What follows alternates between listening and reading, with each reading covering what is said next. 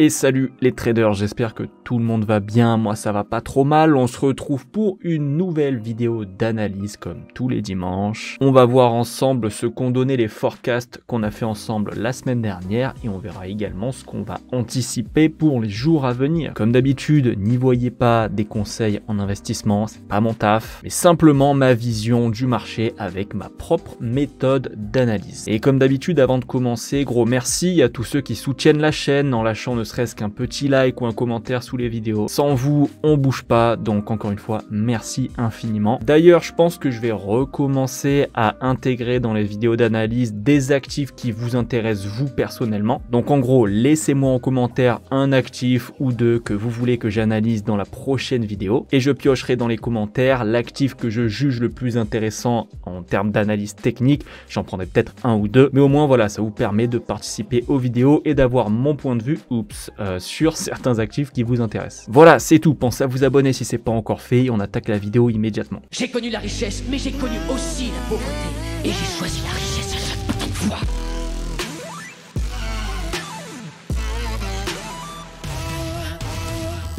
Allez, on commence avec HotCAD. La semaine dernière, je vous avais dit que je le voyais bien faire un dernier petit push s'il corrigeait avant de continuer sa tendance baissière. Résultat, il a pas donné le up, il s'est craché directement, il a cassé le dernier plus bas. Donc en gros, HotCAD, euh, pour ma part, euh, moi je laisserai un peu de côté, vous voyez, histoire qu'il corrige ou quoi, parce que on vient de casser le plus bas. Là, je pense qu'il y a quand même 95% de chances qu'il en fasse un dernier peut-être avant qu'il commence à corriger un peu chiant. Donc euh, voilà, HotCAD, je vais le mettre en stand-by tout simplement. Vous, vous allez voir qu'il y a pas mal d'actifs que je vais mettre de côté parce que ben, les structures arrivent à terme. Donc voilà, HotCAD en fait partie pour les jours à venir. Je vais juste le surveiller et peut-être que je ferai un post YouTube si voilà il y a certains actifs que j'avais mis de côté qui donnent des setups intéressants. Voilà, donc restez à l'affût. Passons à Euro USD. Celui-ci, je vous avais dit que j'attendais une correction pour une petite continuation baissière. Alors, on a eu une continuation baissière. Maintenant, la correction, selon moi, on ne l'a pas. Du moins pas encore. Donc, euh, pour les jours à venir, en fait, c'est toujours le même plan. J'attends une correction. En fait, pourquoi? Parce qu'on a eu plein de petites corrections. Vous voyez, juste ici, peut-être là, un petit contracting.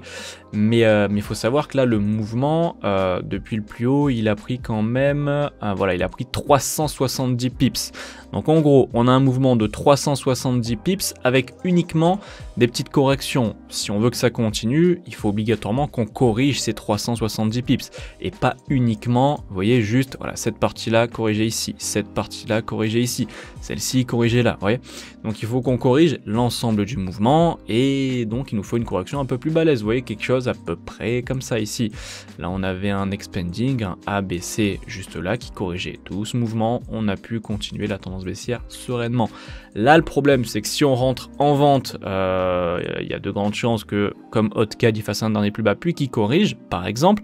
Et si on rentre à l'achat, euh, on a des chances aussi qu'il fasse encore, comme je l'ai dit, un dernier plus bas, ou peut-être même deux, vous voyez, qui rampe jusqu'à notre stop loss pour nous faire très plaisir avant de commencer à corriger. Donc, le mieux, bah, c'est d'attendre une correction, donc un petit peu euh, stand-by, hein, comme HotCAD, comme la semaine dernière. Si j'ai une correction qui se développe entièrement durant la semaine, ben, vous savez qu'ensuite c'est de la vente, hein, mais euh, je pense qu'on aura le temps de refaire une vidéo. Allez GBP Hot, celui-ci, je vous avais dit que c'était de la vente, mais que moi je le voyais bien venir casser une dernière fois son plus haut avant de descendre. Mais je vous avais quand même dit, attention, j'attends la cassure du plus haut avant euh, la cassure du plus bas juste ici. Hein.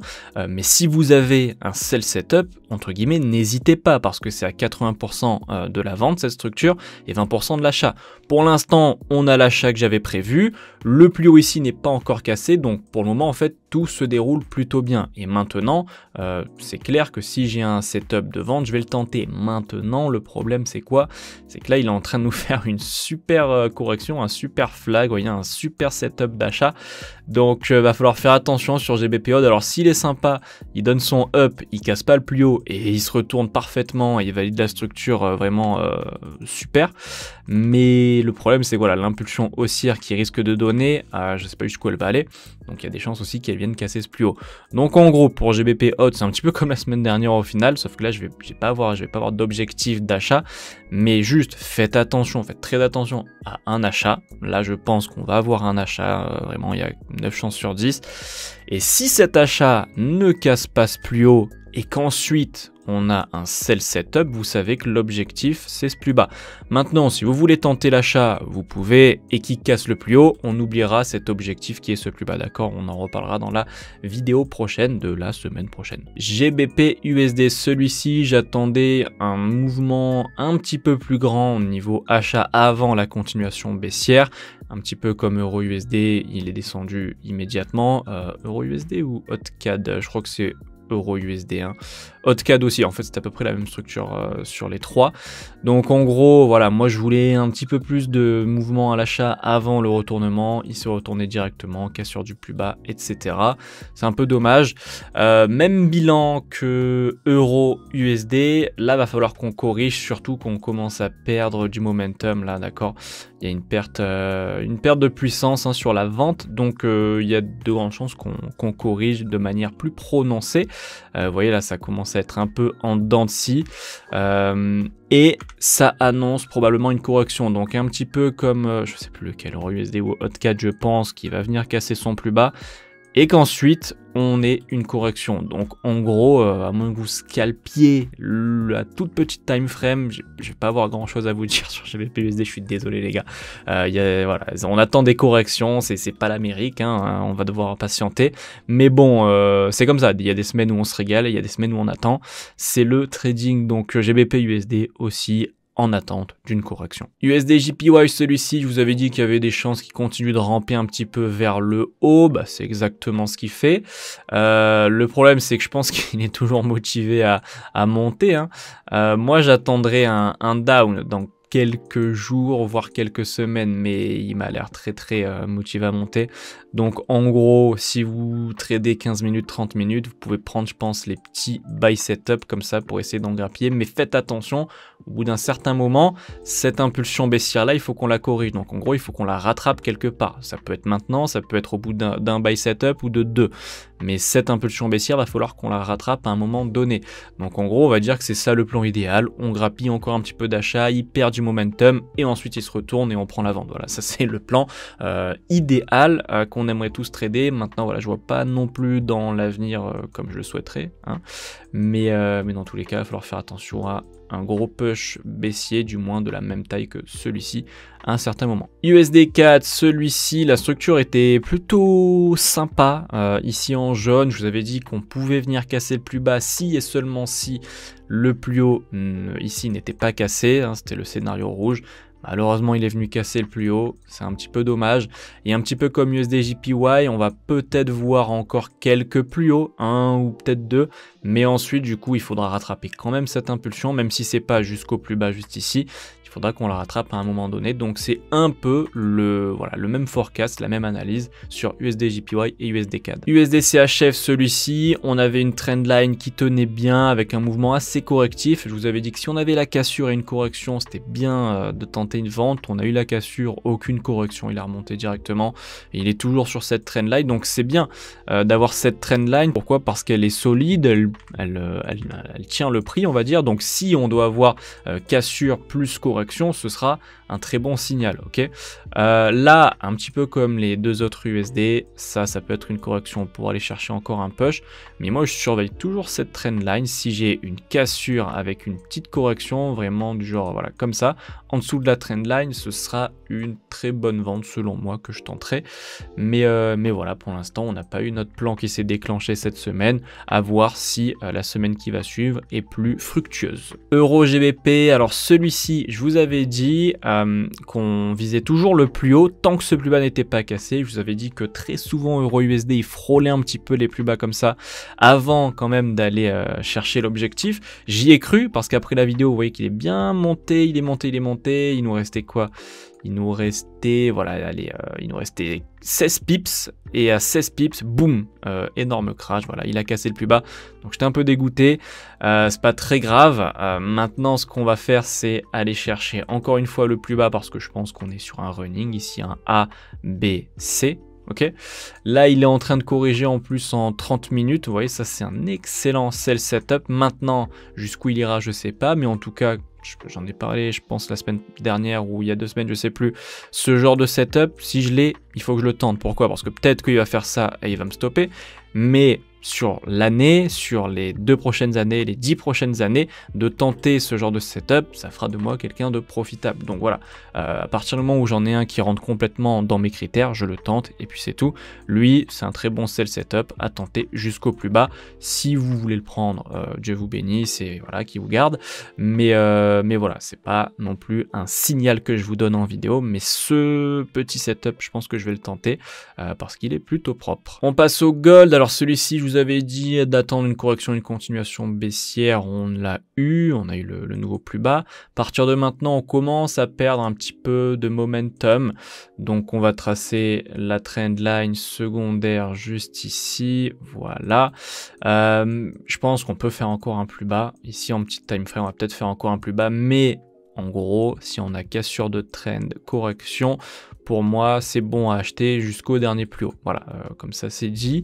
Euh, je pense que ça peut être très intéressant. Est-ce qu'on va l'avoir cette semaine? Je ne sais pas. Est-ce que je vais le surveiller? Très certainement.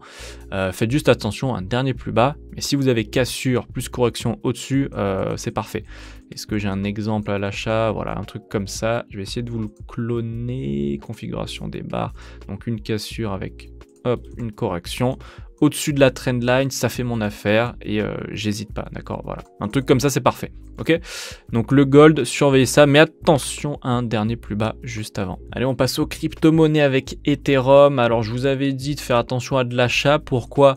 En gros, je vous récapitule un petit peu les deux dernières semaines. Il y a deux semaines, on était sur ce setup-là. Je vous avais dit, voilà, c'était il y a deux semaines, un petit peu comme EuroGBP, que ce genre de setup, fallait les tenter, d'accord Pour un achat, c'était très bien.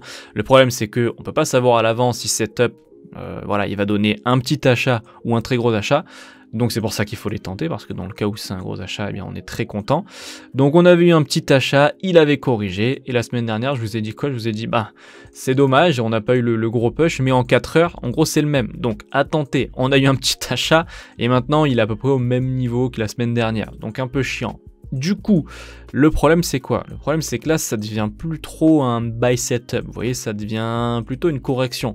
Là pour moi j'ai plutôt l'impression qu'on est en train de corriger cette partie-là et que là à la limite il va nous balader un peu et qu'on risque de venir casser encore le plus bas. Je peux me tromper euh, ou je peux avoir raison, euh, mais là selon ma méthode euh, ça commence quand même à devenir assez correctif, on n'est plus trop de, l'ordre du setup là, on est plutôt sur, sur de la bonne correction avant un down à quel moment est-ce que on invalidera cette possibilité Si jamais ici on vient casser la trendline et qu'on corrige au-dessus comme il faut, attention, pas juste un petit up mais une bonne correction, ok, il y aura quand même peu de chances qu'on vienne ensuite casser le plus bas.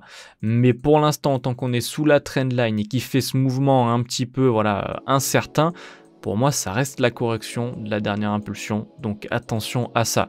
Euh, donc en gros, si vous voulez acheter, peut-être attendez. Vaut mieux attendre, rentrer à ce moment-là, mais avec 8 chances sur 10, plutôt que rentrer ici et avoir 50% de chances que ça foire. Donc si vous voulez acheter, attendez. Maintenant, si vous voulez vendre, bah, c'est la bonne structure. Hein. Si vous, aussi vous voyez de la vente sur, cette, sur Ethereum en, en 4 heures, eh bien ça peut être intéressant de chercher à l'intérieur s'il n'y a pas des sell setup. Euh, donc voilà, dans l'immédiat, si vous êtes, si je devais vous donner une direction à privilégier, ce serait de la vente. Maintenant, attention, s'il casse la trend et qu'il corrige, on partira sur un achat. On passe au Bitcoin et même quand on constate que Ethereum, hein, je vous refais pas l'histoire, sauf que lui, euh, après sa correction, il a chuté puis là il remonte, on est vraiment quasiment au même niveau que la semaine dernière. Lui, je pense quand même qu'il peut monter, casser au moins ce plus haut, ok, parce que lui ne l'a pas encore euh, cassé, donc on a l'impulsion, la correction, on peut aller chercher ce plus haut, mais voilà, comme Ethereum, du coup, ce sera plus trop de l'ordre du setup, mais plus de la correction de la dernière impulsion. Donc ensuite, potentielle vente. Je mets voilà, attention, même point d'interrogation. Est-ce que c'est ce qu'on aura? On verra la semaine prochaine. Euh, mais je pense qu'on peut aller chercher au moins la cassure du plus haut. Pareil, si vous aimez bien les petites time frames, ça peut être selon moi intéressant. Passe au Solana. Lui, je vous avais dit d'attendre une petite vente avant la cassure du, dernier plus haut. On a eu la vente, mais qui est venu casser le dernier plus bas On est potentiellement sur un running flat juste, juste ici, euh, j'en perds mes mots. Euh, donc faudrait faire attention à la cassure du dernier plus bas, donc un retournement baissier pour les jours à venir.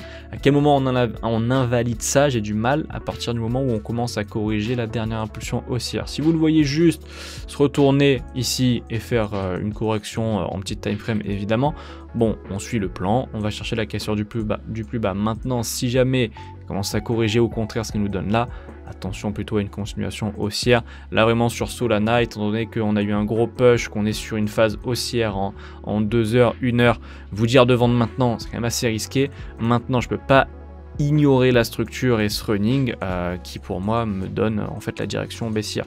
Donc voilà, faites attention à ça. Le DOT, alors lui, euh, un petit peu comme euh, Bitcoin, Ethereum, voilà, il est toujours dans sa zone. et comme Bitcoin, il n'a pas cassé son dernier plus haut juste ici, donc c'est ce que je vais aller attendre de lui pour les jours à venir. Donc là, la cassure du plus haut. Et ensuite, comme Bitcoin, est-ce que on aura la vente ou pas? Ça dépendra du momentum, de la structure, de la cassure du plus haut. Si c'est une cassure du plus haut vraiment timide, bon, euh, ce sera peut-être le retournement baissier. Maintenant, si c'est un gros push comme ça, ce sera peut-être une continuation haussière. Donc voilà, ça va dépendre de ça, mais la cassure du plus haut est très probable. BNB, celui-ci a cassé son plus bas, donc je m'attendrai pas trop à ce qu'il vienne casser son plus haut, mais en plus, Ici, on est peut-être sur une correction, donc faites plutôt attention à un plus bas sur BNB avant potentiellement un running.